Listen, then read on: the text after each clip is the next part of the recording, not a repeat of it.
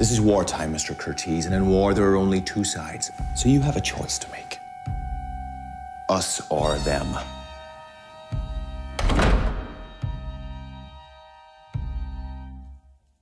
You don't like him very much, do you? He's earned you four Oscar nominations. He didn't win any. He practically eats and shits films. Who was that? What's that accent? Why don't you tell them, Mike? Tell us what.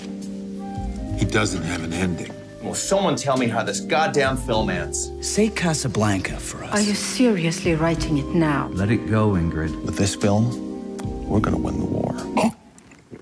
This film?